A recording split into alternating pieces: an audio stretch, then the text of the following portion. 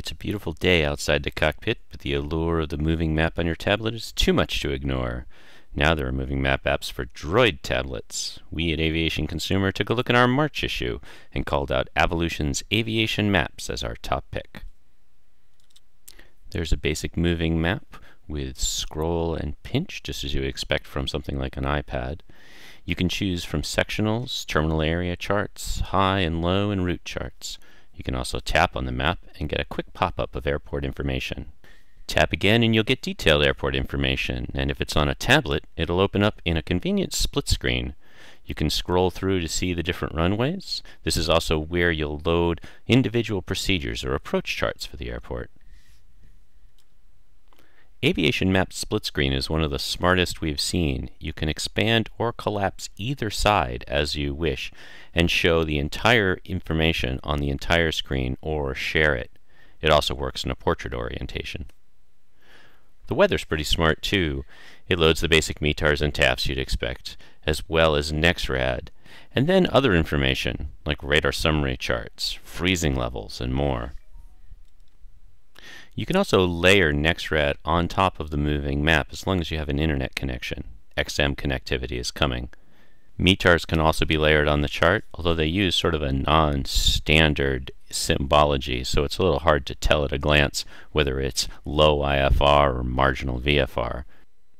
This may change in a future release. You can layer AirMets and SIGMETs. You can also put winds aloft, downloaded from the internet, on different layers of the chart. Flight planning is done on its own tab where you can tap in individual airports and have them connect. Tapping on an airport will bring you to that part of the map. You can also insert or append waypoints as you want so you can edit your flight plan right on the map. Pretty slick. Aviation Maps also lets you type in your entire route, complete with Victor Airways, and it'll decode it for you. In the air, aviation maps will show you your track, your speed, and your altitude, as well as other waypoint information along the bottom of the screen. Note as well the runway extensions, which are optional for your destination airport. Aviation Maps also has some novel features, like this flight pad, where you could record ATIS or ASOS information, the runway in use, and review procedures, such as the departure for your departure airport, or the approach for your destination airport. Any approach chart or destination chart you view will end up in the pull-down menu on the upper left of the screen, along with the different chart types. This makes it easy to call up an approach again when it's time to fly it, and put it right next to your moving map. At five bucks a month, Aviation Maps is a pretty good deal. You can't get it from Google's Android market, but you can get it directly from their website, www.avilution.com. First runner-up, and a close one at that, is Naviator, which is available on the Android market. It gives you a basic moving map, however, these are not seamless charts, so you'll have to select the chart that you're on. That's fine if you know what chart you should be on, but if you select the wrong one, you'll find yourself out in the middle of white space. However, there is a button just to recenter the airplane by GPS. There's a flexible split screen function that does a two-thirds, one-third split. This is where you control what layers of information you want to put on the moving map chart. You can have METARs, AirMets, SIGMETs, TFRs, and other pieces of data. We found that the pinch to zoom function wasn't particularly reliable, but the buttons for zoom in and zoom out work just fine. Naviator also does a terrific job of giving you detailed information by tapping on the chart as it comes up in its own dedicated window. METARs are color-coded for ceiling and visibility separately, or you can get detailed information through the same pop-ups. Avilution doesn't have TFRs on the chart yet, but Naviator does, complete with details. Airport information is off the chart with a tap for the basic stuff, as well as an option to put runway extensions on the chart for just your landing runway or all of them. If you want more detailed airport information, then you press the same button and Naviator will use the split screen function to give you all the frequencies, airport remarks, and this is also where you'll get instrument approach procedures.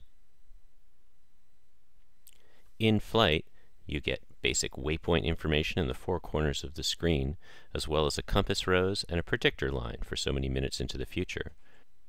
Instrument procedures can be georeferenced, and they can be shown in a portrait orientation, with the basic waypoint information on that screen as well.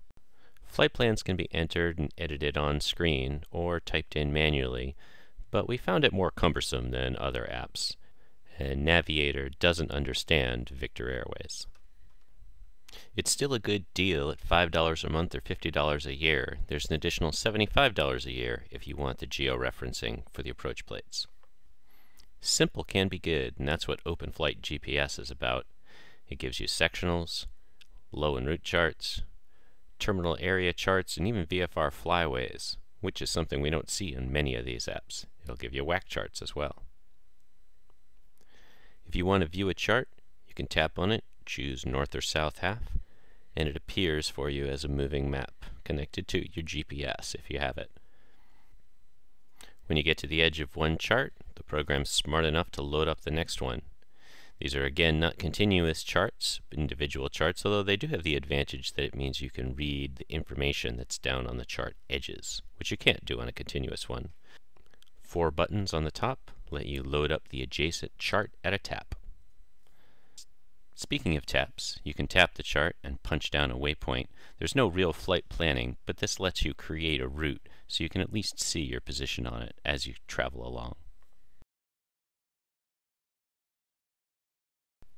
One real disadvantage of OpenFlight GPS is that you have to download each chart individually. Downloading the entire country can take a long time. But for a one-time fee of $30, it's not such a bad deal. There are other Droid apps in the works. WingX should release one that matches its popular iPad version. And we got a sneak peek at Garmin's app that'll resemble Pilot MyCast, but have an as yet to be chosen new name. We also looked at two apps aimed primarily at European users, Pocket FMS and SkyMap. SkyMap had a cool feature in that it gave a terrain cross-section view at the top of the chart. However, for US users, only sectionals are available. In Europe, all charts are. We'll keep our eye on the moving maps for the droid and let you know about the new things that are out there, while you, well, remember to look outside sometimes. This is Jeff Van West for AvWeb. Thanks for watching.